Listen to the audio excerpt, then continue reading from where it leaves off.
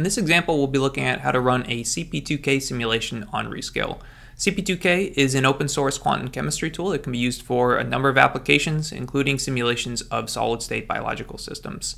The example that we'll be looking at today in particular is a molecular dynamics trajectory simulation of liquid argon.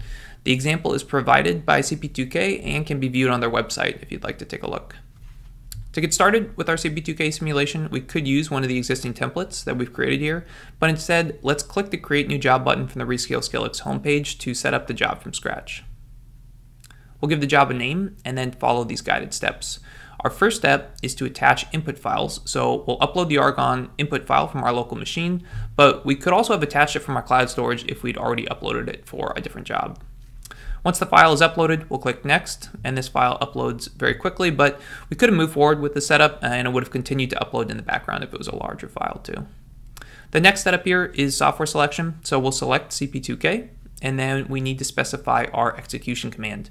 The execution command provided here by Rescale is almost complete actually, so we just need to fill in a few additional fields, including the number of cores and the name of the input file. We'll also add an output option here to write out to this file, and the rescale cores per slot value uh, that we used here is a global variable that's available in all rescale jobs, and it contains the total number of CPUs available, which can be very helpful if we were to, for example, clone this job and then select more cores that we wanted to run on. This would automatically update it to make sure it's always going to use the amount of resources available without us having to come in here and manually adjust our core count number in the command. With the setup complete, we'll click Next and move on to hardware selection.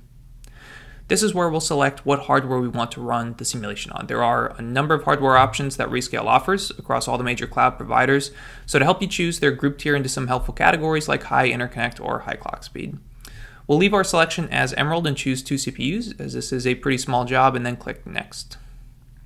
The last step in the setup would be to add an additional post-processing file, uh, but instead we'll look at the results interactively. So we'll leave this blank and click Next to review the setup. Everything looks good here, so we can click Save and Submit. Once we click Submit, we'll be brought to the status page where we can track the progress of the job as the cluster is provisioned, starts, and then eventually completes. It can take a couple minutes uh, to start up, so we'll actually switch over to another copy of the job that we have already running in the background. Let's navigate back to our Jobs tab and then select our running job. We can now see some of the options that are available to us for tracking the job progress. We can view files that are generated as the job runs, including this log file to ensure that things are progressing as expected. Once the job completes, we could then download the results to our local machine, but instead, let's use a Rescale desktop to view the results interactively, all in the Rescale cloud environment. We'll start by clicking desktops, which brings us to the Rescale desktops homepage that looks very similar to the jobs homepage that we started on. And this page is where we can view and connect to any running virtual desktop that we've provisioned. We'll connect to this one uh, that you can see here in a second, but first let's go through the setup process to see how easy it is to create and launch these. We'll click the Create New Desktop button, and we're then presented with some of the same options that we had when launching a job. We can select the software, which will be VMD, and the hardware, which will be a GPU accelerated node called Citrine. To attach the files from any of our jobs, we can simply expand the job section here, and then select them by clicking the box next to the name. With our setup complete, we could click launch, but instead let's navigate back to the home page and then connect to that desktop that we already had running. The connection is very quick and it's done right through our web browser here. And now that we're connected to the machine with VMD installed, let's launch VMD by double clicking it and then we'll load in our results. Any job that we've attached will be located in a folder linked on our desktop, so for easy access. So we'll navigate to that folder here and then load in the molecule. It'll take a few seconds as all the frames are loaded in. And so as it's completing, let's change some of our visualization options here so that we can easily see the atoms.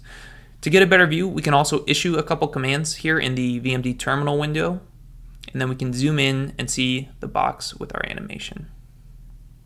So to recap, we were able to run a CP2K simulation on Rescale with just a few clicks, and then view the results and do a little bit of post-processing in a Rescale desktop with VMD.